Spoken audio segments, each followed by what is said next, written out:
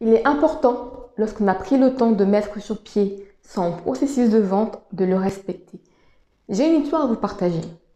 Ça m'est arrivé en 2020 d'avoir mon process, mais j'ai omis de le respecter à la lettre et je m'en suis mordu les doigts. Ça m'a tellement fait mal que je me suis dit plus jamais. Cette histoire, je vais vous la partager maintenant dans cette vidéo.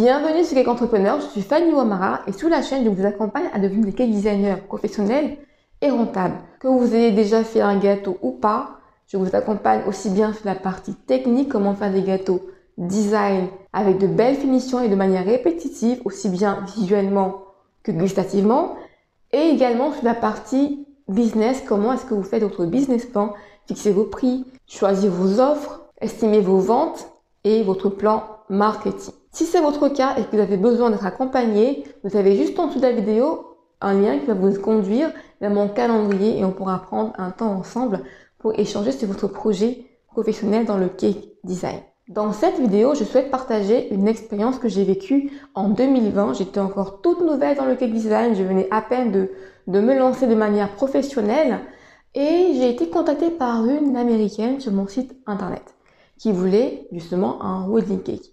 Elle se mariait à Paris dans un grand hôtel parisien, un hôtel 5 étoiles, euh, et elle voulait un cake designer.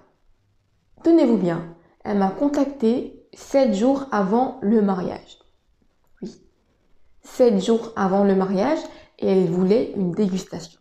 Qu'est-ce que j'ai fait? Je me suis dit, Fanny, ton process, il est un peu long, donc si c'est 7 jours, euh, elle veut déguster, donc elle n'aura pas le temps d'aller prospecter et voir d'autres cake designers, donc fais la dégustation et elle va forcément te prendre. Je ne sais pas comment j'ai réfléchi à ce moment-là, mais je me suis dit qu'elle allait forcément me prendre. Qu'en 7 jours, elle n'allait pas vagabonder, en guillemets, pour... Voilà, vous voyez ce que je veux dire Donc, j'ai juste proposé le rendez-vous de dégustation.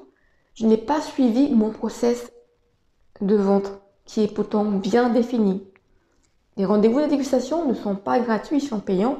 Et quand j'ai parlé de ça à, cette prospect, à cette euh, américaine, je n'ai pas parlé du prix de mes dégustations. Je lui ai dit qu'il n'y a pas de souci, j'ai fait la dégustation. Et je pense que j'étais aussi emballée et impressionnée par le fait que ce soit une étrangère, qui se mariée à Paris et qu'elle m'a contacté sur le site internet et on parlait en anglais. Donc je me dis, oh super, mon site web il est bien référencé, j'attire des, clients étrangers, etc.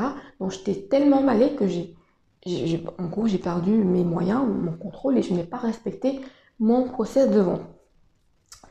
Donc, on a fait le rendez-vous dégustation. J'ai fait trois saveurs qu'elle m'a demandé. Justement, j'ai fait trois saveurs carrément, pratiquement euh, des saveurs créées pour elle. Ça m'a pris du temps. Et j'ai fait la dégustation dans son hôtel parce que je me suis dit, ils vont des pots qui vont arriver euh, dans un hôtel. Je vais pas leur faire traverser euh, Paris, etc. Donc, je vais me déplacer, venir vers eux avec les, les dégustations. Et comme ça, je vais les arranger au maximum car le mariage est bientôt. C'est dans quelques jours, donc ils n'ont pas le temps. Je dois tout faire pour, euh, vraiment les, arranger en fait. Ça a été bien, ils ont aimé la texture, ils ont aimé le gâteau, etc. Ils m'ont demandé s'ils pouvaient justement venir à mon laboratoire. Elle m'a demandé s'ils pouvaient venir à ma boutique pour voir les gâteaux que je proposais, mes modèles, etc. Je lui ai dit que je n'avais pas de boutique physique et que je faisais uniquement des gâteaux à la commande. Donc il n'y avait vraiment pas de design à voir ou des designs exposés. Euh, car je suis une indépendante avec euh, un, comment dire, un business model qui est uniquement sur des gâteaux sur mesure, pas de boutique, pas de lieu physique où euh, je vais accueillir des visiteurs. Donc c'est ce que je lui ai dit et, je pense que c'est ce qui a été un peu, comment dire, un frein pour elle ou alors un élément qu'elle aurait préféré avoir quand elle, elle, voulait vraiment une boutique où elle allait rentrer, voir des gâteaux, des étagères, une vitrine. Je pense que c'est ce qu'elle voulait vraiment vivre comme expérience et moi à l'époque je ne répondais pas à cela. Donc qu'à cela ne tienne, ce n'est pas vraiment ça le souci. Ça peut arriver car tout le monde n'est pas forcément votre client euh, et ce n'est pas parce que vous avez une cliente qui veut une boutique physique que tous les clients veulent les boutiques physiques. C'est absolument pas le cas. Euh, mais n'empêche qu'une boutique physique, ça a toujours des avantages, des inconvénients évidemment, mais c'est aussi ses avantages. Donc, il y a toujours un, juste milieu à trouver entre les deux business models. Ok, donc voilà, euh, ça s'est bien passé et elle m'a même rendu la broche qui devait faire office de décoration sur le gâteau car le modèle était bien envoyé. Elle m'avait envoyé son modèle avec les fleurs et elle voulait une broche sur le gâteau qu'elle m'a remis ce jour-là. La broche, je l'ai gardée. Je vous dis pourquoi j'ai la broche. Donc voilà, je vais vous montrer. Elle est là, la broche. Très jolie broche qui devait figurer sur le gâteau. Si je retrouve le modèle du gâteau, je vous mettrai. Sinon, bah, c'est que je j'ai plus les traces, ça fait un moment quand même. Donc, euh, cette broche, justement, elle me l'a confiée car ça allait servir de décoration du gâteau. Donc, c'était bouquet.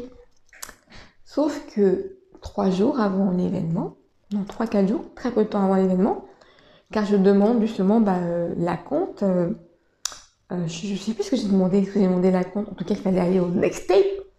Et elle m'a dit que finalement, euh, ils se sont baladés dans Paris, qu'ils ont trouvé une boutique, qu'ils sont rentrés à l'intérieur. C'était une américaine qui fait des wedding cakes, qu'ils ont pu voir ses designs et euh, ils ont apprécié l'expérience. C'est ce qu'ils cherchaient réellement. Et donc, euh, ils ne pourront pas, ils ne donneront pas suite avec moi. Et que je pouvais garder la broche. Voilà. Et là, mettez-vous à ma place. J'étais juste, what? Trois jours, enfin trois, quatre jours avant l'événement, euh, ils me disent que non, ils sont étrangers, ils sont pas dans leur pays, ils vont se marier, mais en fait, maintenant je sais que ça peut arriver, mais à l'époque je me disais qu'ils peuvent pas, qu'ils sont déboussolés, ils ont besoin de repères et que je dois tout les arranger, etc. Alors qu'en fait c'était pas ça leur focus. Et ce, comment dire, cette façon de penser, de me mettre à la place des clients et vouloir tellement les arranger que j'oublie moi mon process, ça a été un désastre. Car là, j'ai quand même tenté le coup. Je me suis dit, ok Fanny, est-ce que tu demandes quand même euh, de régler le rendez-vous de dégustation? Car tu n'as pas annoncé que c'était payant Mais là, tu avais tellement la boule, comme on dit, tu avais le somme, quoi. Donc tu te dis, euh, mais j'ai bossé quand même. J'ai pris du temps pour vous faire la dégustation, je me suis déplacée et ça vaut pas une broche en fait. Après, je, je, je pense pas qu'elle qu'elle qu'elle qu'elle vaut cher la broche, hein, parce que en termes de matière, etc., je pense pas que ce soit une, broche hors de prix. Euh, mais je me disais, bah non, ça vaut pas la broche. Est-ce que je dis ok, je m'arrête là ou je, je, je essaie de rattraper quand même le coup parce que elle aura le droit de me dire que non, elle aura tout à fait le droit parce que j'ai pas annoncé que c'était payant. Mais j'ai quand même tenté parce que j'avais tellement le seum je me suis dit, j'ai quand même tenté. Alors j'ai envoyé, je lui ai répondu, je lui ai dit oui, euh, sinon en fait un rendez-vous de dégustation, normalement c'est payant, et je pensais que vous alliez euh, booker avec moi, du coup je vous en ai pas parlé. Et elle m'a fait, elle a joué à l'américaine. C'est quoi jouer à l'américaine? Les Américains, ce sont des gens qui sont très procéduriers, qui sont très juridiques. Avec eux, ce qui est dit est dit. La virgule, le point, c'est le point, et la virgule, c'est la virgule. Et elle m'a sorti un texte, elle m'a dit, vous n'avez jamais mentionné que c'était payant une dégustation, alors je ne vois pas pourquoi j'ai opéré la dégustation. Point. elle avait totalement raison. Elle avait totalement raison. Et moi, j'avais totalement tort d'avoir zappé mon process pour arranger au maximum la cliente étrangère perdue qui ne sait pas, qui n'est pas dans son pays et qui va se marier dans trois jours et qui a absolument besoin d'un cake designer alors je vous dirais non, ne négociez jamais vos process. Peu importe la vitesse, peu importe l'urgence, faites tout comme il se doit. Car sinon, vous seriez forcément en tort en fait. Donc j'ai eu le seum et ce jour-là, j'ai vraiment, comment dire, ça m'a transformé. Il y a eu un avant et un après. Cette histoire m'a tellement affectée que je me suis dit, plus jamais. Tu es quelqu'un de sensible, tu es quelqu'un qui veut arranger, tu es quelqu'un de gentil. Mais dans le business, ta gentillesse, tu, vas la garder, mais dans le professionnalisme avec un process carré qu'on suit à la lettre. Même dans l'urgence, on peut faire vite, mais on fait quand même le process, mais vite. Plus vite que dans qu'habituellement. Euh, et donc forcément, ce jour-là, j'ai mis en place, j'ai vraiment mis en place ma checklist des choses que je ne ferai plus. Si ce n'est pas fait, je n'avance pas. Sinon, pas de gâteau, pas de déplacement, pas de dégustation, rien du tout. Car le business, c'est le business. Et en tant que femme, quand on est quelqu'un d'assez sensible, de gentil, qui va ranger les gens, on a beaucoup de mal à vraiment départager euh, le business, la procédure, car les gens, ce sont des humains. Ils ne vous connaissent pas. Vous n'avez pas de lien amical ou de lien de parenté. Donc, ils peuvent forcément vous zapper sans aucun état d'âme. Ça savait très bien cette dame que j'ai travaillé et que ce que j'ai fait pour elle était plus qu'une broche. Mais euh, la loi, c'est la loi. Et le business, c'est le business. Et me voici, quelques années plus tard, avec ma broche en souvenir qui me rappelle toujours l'importance de se protéger en tant qu'entrepreneur, en tant que femme, gentille, sensible et qui veut plaire à tout le monde. Voilà. Donc ne vous oubliez jamais que vous avez un process, respectez-le, peu importe l'urgence, vous checkez les cases plus rapidement et vous les checkez quand même.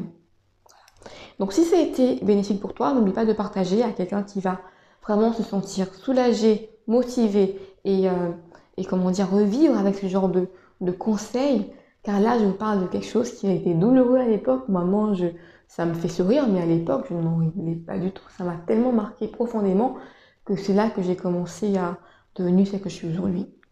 Une femme qui fait le business, qui fait sa vie perso et qui fait plein de choses, mais on ne mélange pas les patates, les gruyères et les choucroutes. je viens d'inventer une phrase, mais bon, c'est pas grave, vous comprenez.